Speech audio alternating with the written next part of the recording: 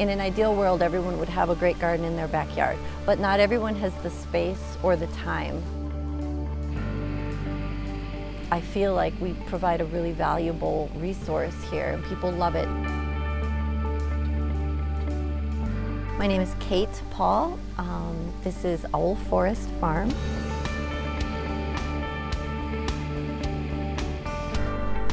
I started the farm when I moved back to the Iron Range in 2006. The growing area that I have itself is just over five acres. We have just about every vegetable you can think of that we can grow in Zone 3. The bees and I get to share the sunflower patch. We're getting to have a bigger selection of cut flowers, both annual as well as perennial. I'm able to um, sell them to wholesaler, you know, to florists at wholesale and also use them in my bouquets and buckets. There, I save my arms a little bit by carrying them on my shoulders.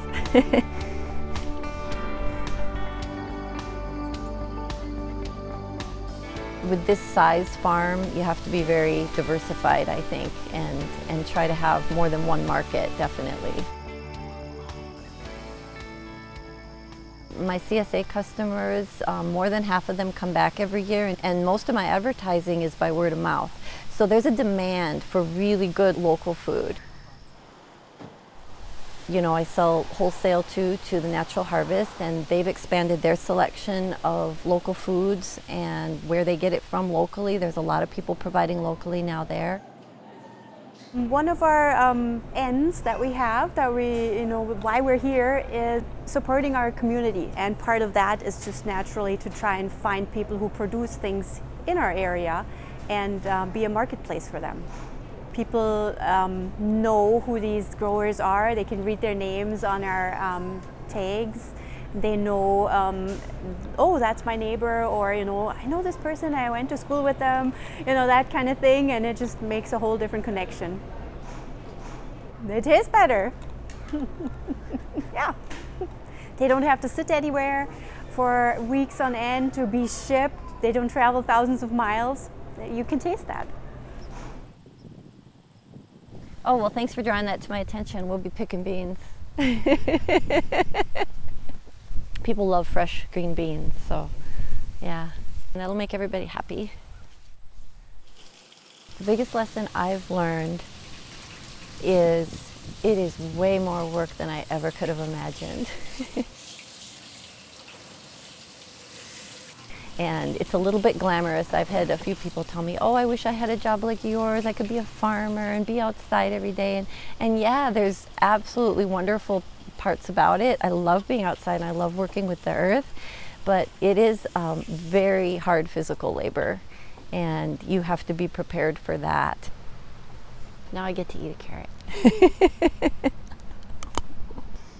As a farmer, we don't really have time for marketing during the growing season. Our time for marketing is during the winter. That's when we have the time to do that.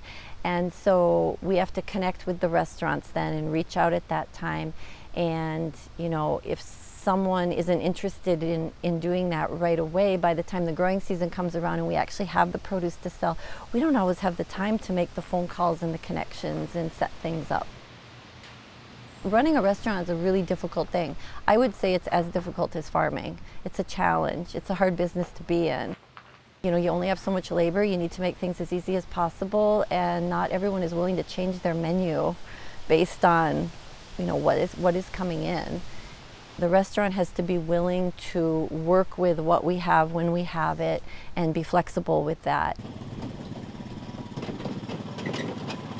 When I went and got my um, both my bachelor's and master's degree, I got them in biology because I wanted to be a field biologist and spend time outside. And so I started volunteering and working at a CSA farm and I started growing my own garden and learning more and more about that and um, you know, absolutely loved it. And so when I moved back to the Iron Range, I knew exactly that that's what I was going to do. There we go.